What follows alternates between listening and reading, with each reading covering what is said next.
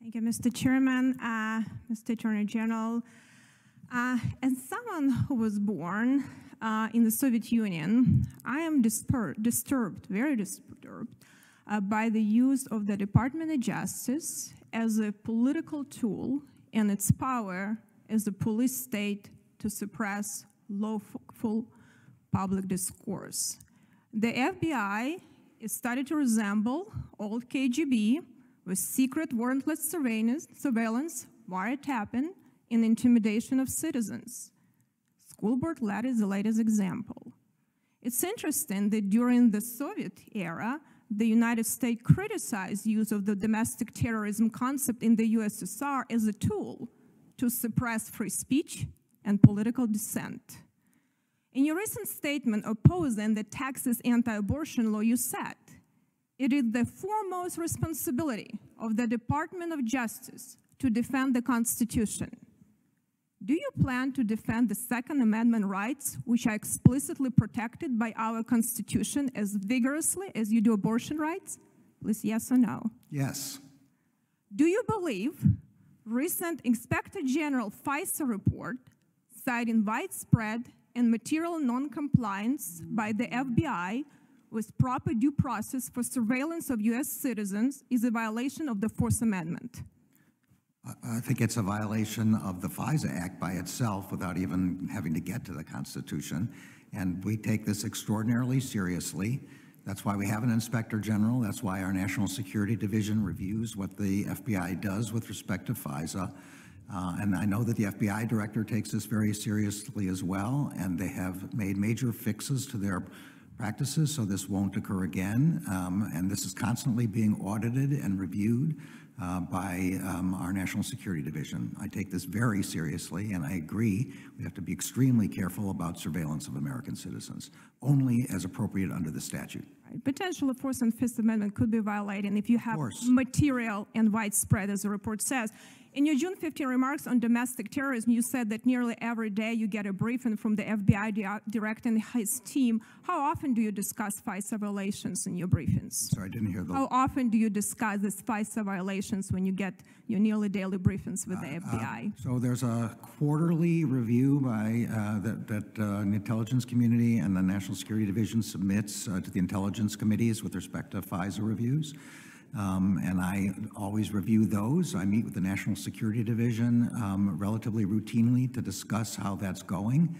Um, so uh, it's not every morning, but um, this review of um, violations of FISA and, and our efforts to make sure that it doesn't happen again is pretty mm-hmm. frequent. So it seems like we still get material and widespread. Every report we have material, material, not on non-material, and widespread violation. But talking about another topic. I went to the border three times and recently visited air base in Qatar and Camp Atterbury in Indiana housing Afghanistan evacuees. Uh, and based on what I've seen, uh, I have some questions and significant national security concerns. Former Border Patrol Chief Rodney Scott recently said that the open border poses a real terror threat. Do you agree with the Border Patrol Chief or Secretary Mayorkas, who recently said that the border is no less secure than before. Uh, you're, if you're asking about uh, terrorism traveling across the border, I'm concerned about that across all of our borders. This has been a, a continuing concern. But do you agree with that, you know, Border Patrol chief that what's happening right now is make us less secure and have a real, you know, increased terror threat? Uh, I, I, believe that the combination of the intelligence community and the FBI are working very hard to make sure that uh, uh, people crossing the border do not constitute a terrorist threat. But uh, we have to always be worried about the possibility, and uh, we are ever vigilant on that subject. Can you reassure the American people that you will be able to protect our country from a terrorist attack that may result from this lawlessness at the border or the Afghanistan debacle? I can assure the American people that the FBI is working every day to the do the best it possibly can to protect the American people from terrorism from whatever direction it comes, whether it comes from Afghanistan or any other direction. But do you have any specific actions and plans that you're doing in light of what's happening right now in the border? Do you have a specific strategy that you're working directly with in, in considering uh, current FBI, situation? I'm sorry, I didn't mean to talk. On.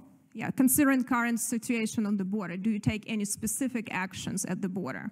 Well, uh, with respect to um, the first part of your question about Afghanistan, the FBI is participating along with Homeland Security in vetting the refugees who have landed in various locations, Qatar, um, uh, uh, Kosovo, uh, Ramstein Air, Air Base, and then in bases in the United States. Um, So they're doing everything they can uh, to vet uh, for those purposes.